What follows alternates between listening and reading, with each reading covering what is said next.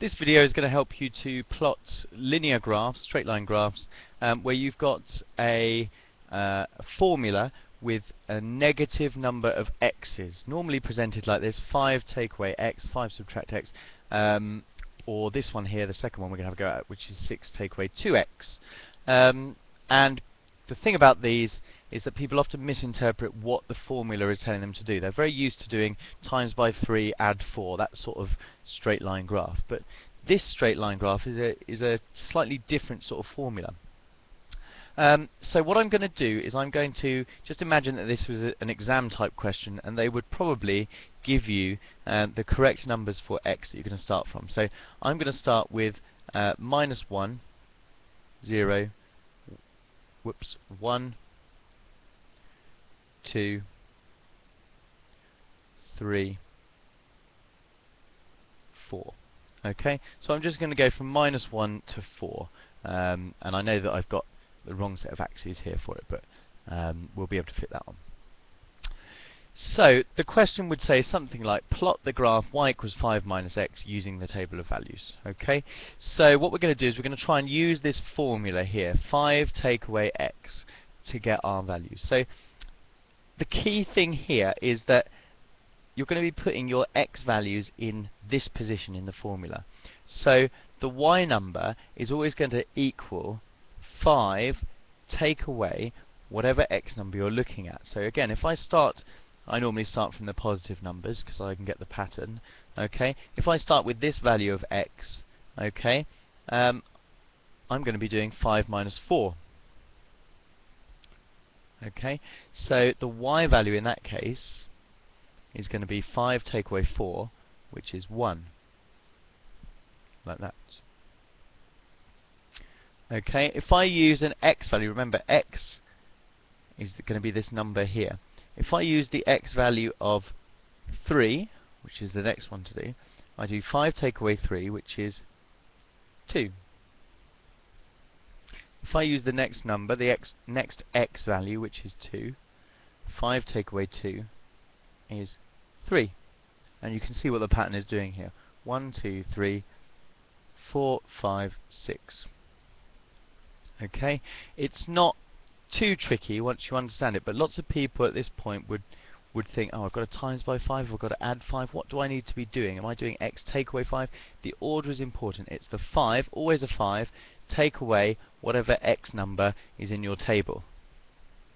So now we go ahead and plot these numbers. So we're going to start with minus 1, 6, which is there, 0, 5, 1, 4, 2, 3, 3, 2, and 4, 1.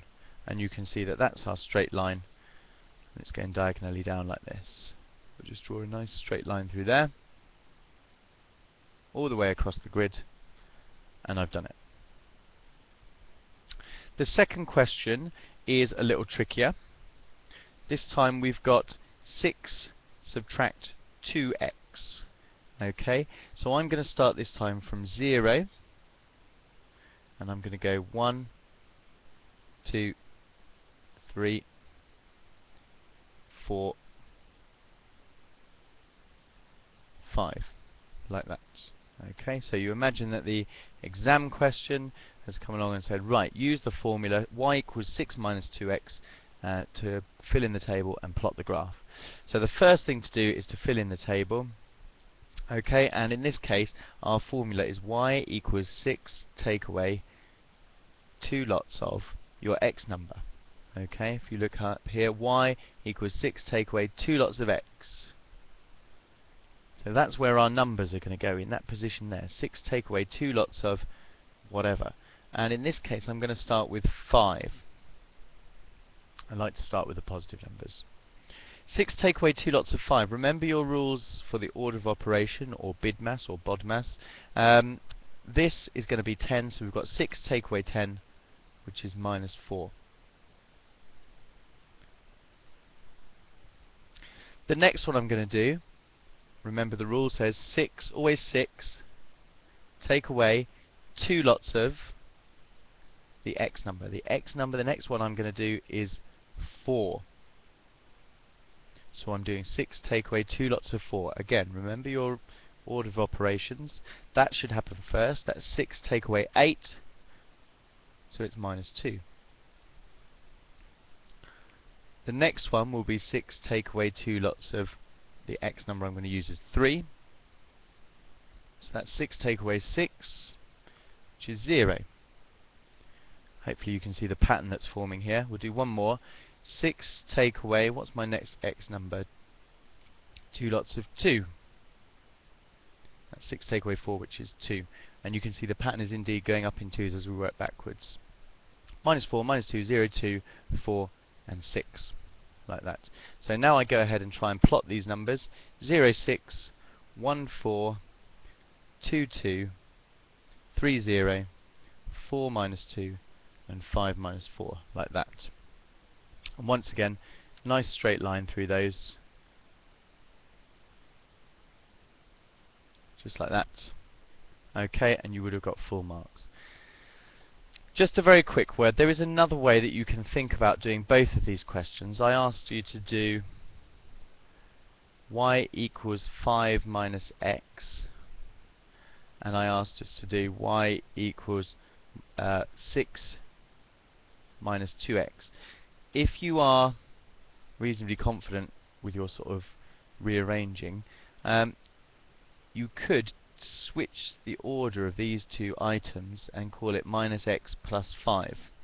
And those of you familiar with uh, gradients and intercept would recognize that the gradient is minus 1 and the intercept is 5. So you could quickly draw that as a graph passing through 5 and going down by 1 every time.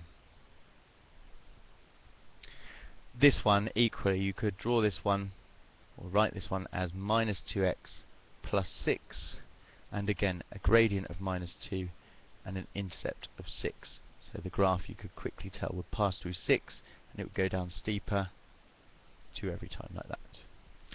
Um, that's a little bit more advanced um, than the scope of this video, but uh, it is an alternate method that you can use.